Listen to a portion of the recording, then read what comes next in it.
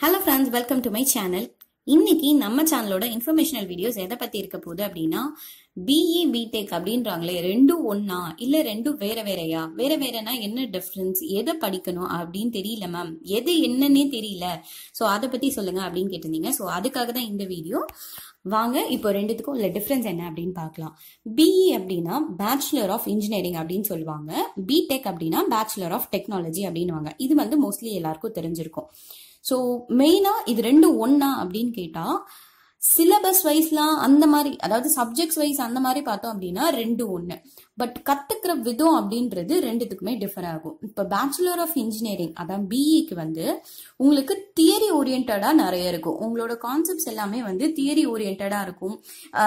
Engineering disciplines அதாவது இப்போ இன்ஜினியரிங்க்குன்னு ஒரு சில ரூல்ஸ் அண்ட் ரெகுலேஷன்ஸ் வச்சிருப்பாங்களா அதை ஃபாலோ பண்ணுற மாதிரியான கான்செப்ட்ஸ் தான் நீங்கள் வந்து இதில் பண்ணுவீங்க.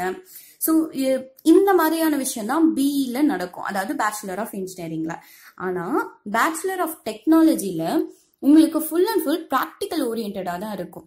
தியரியும் இருக்கும் பட் ப்ராக்டிக்கலோட பார்ட் வந்து கொஞ்சம் ஜாஸ்தியாக இருக்கும். தியரியோட பார்ட் கொஞ்சம் கம்மியாக இருக்கும். ஸோ அதனால தான் பேச்சுலர் ஆஃப் டெக்னாலஜி அப்படின்னுவாங்க. இது வந்து ப்ராக்டிக்கல் ஓரியன்டாவே தான் போகும் அப்படின்ற மாதிரி சொல்றதுக்கு தான். ரெண்டுத்துக்குமே வந்து சிலபஸ் அந்த அதாவது நம்ம படிக்கிற சப்ஜெக்ட்ஸ் அது எல்லாமே மோரார்லெஸ் சேமா தான் இருக்கும். பட் இதுக்கும் அதுக்கும் உள்ள மெயின் டிஃப்ரென்ஸ் அப்படின்னு பார்த்தா இது தியரி ஓரியன்டா இருக்கும் இன்ஜினியரிங் அப்படின்றது டெக்னாலஜி அப்படின்றது ப்ராக்டிக்கல் ஓரியன்டா இருக்கும்.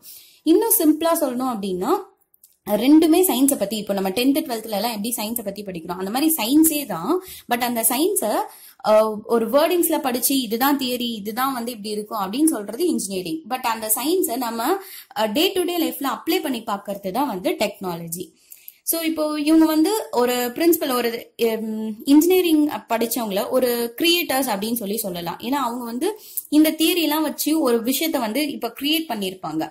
ஆனா இந்த டெக்னாலஜி பண்றவங்க அந்த கிரியேட் பண்ண விஷயத்த அப்ளிகேஷன்ஸ் எப்படி ரன் ஆகுது? இப்போ இவங்க வந்து ஒரு திங் கிரியேட் பண்ணி வச்சிருக்காங்க அப்படின்னா அதுக்கு பின்னாடி என்னென்ன இருக்கு? எதை வச்சு கிரியேட் பண்ணிருக்காங்க இதுக்கு வேற என்ன மாதிரி பண்ணலாம்?